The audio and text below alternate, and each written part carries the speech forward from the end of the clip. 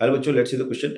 in an inflated rubber balloon contains one mole of an ideal gas has pressure P volume V and temperature T if the temperature rises to 1.1 T and volume is increase to the one zero point five then final pressure will be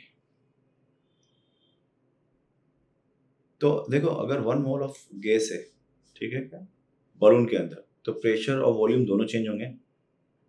but number of mole change नहीं होंगे. So मैं लिख सकता हूँ N one is equal to N two So P1 V1 by T1 is equal to the P2 V2 by T2. हमें निकालना है the volume of increase final pressure P2 निकालना है सो P2 is equal to P1 V1 upon T1 V2 into P1 V1 T2 into T1 V2 ये हो जाएगा P1 कितना है P है V1 V है टेम्परेचर टी है T two one point one T है और V two one point zero है। तो ये कट गया सारे।